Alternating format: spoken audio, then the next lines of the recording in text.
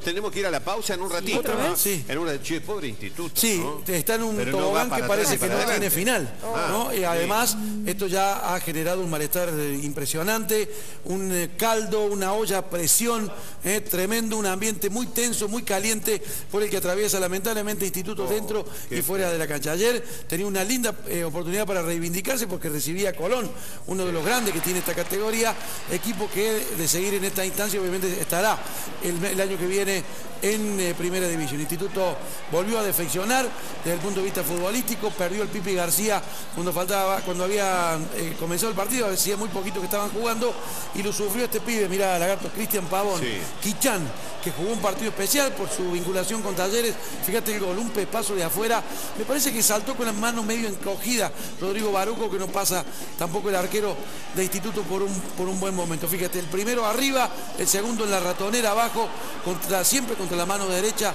del ex arquero deportivo Belgrano, fíjate qué golazo de Quichán, esto en el transcurso de los primeros 45 minutos, Instituto perdía 2 a 0 a mano de un Colón que había tenido en Cristian Pavón a su figura excluyente, a su hombre de ataque más importante, más incisivo, más penetrante, más contundente y más eficaz.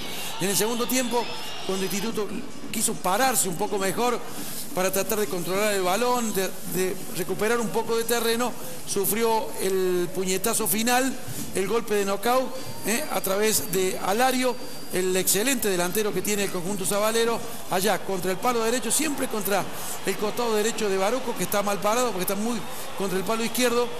Se tiró, la pelota dio en el palo, esto generó los incidentes, generaron los incidentes de una de las cabeceras, la que da al centro de la ciudad de Córdoba. La gente quiso romper el alambre, obviamente algo repudiable, algo inconducente. De esa forma Instituto no va a ganar un partido, sino que va a lograr que en algún momento le suspendan la cancha, le quiten algún punto. Instituto es el peor equipo de los 22 que conforman el espectro de la B Nacional. Está último en la zona A. eh, Sportivo está último en la zona B, pero Sportivo tiene un par de puntos más. Bueno, esto generó que se demorara un poquito, que se suspendiera eh, un ratito el partido. Después todo siguió, el partido estaba totalmente definido eh, a manos de Colón de Santa Fe.